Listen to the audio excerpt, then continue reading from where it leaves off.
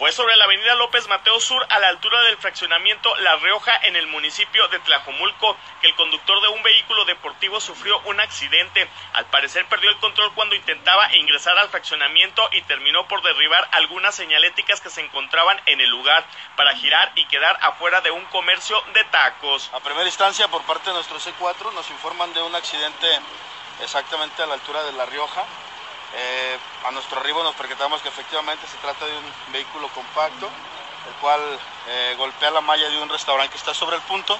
Afortunadamente sin lesionados, eh, no tiene más que las pérdidas materiales. A nuestro arribo, bueno, nadie nos da informes de, lo, sucedido en el accidente.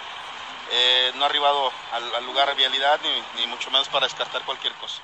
El accidente se manejó muy herméticamente debido a que extraoficialmente se decía que el Ferrari pertenecía al cantante de música grupera Cristian Nodal, por lo que en todo momento mantuvieron el auto deportivo tapado con su forro y se encontraban guaruras en el lugar resguardando el accidente.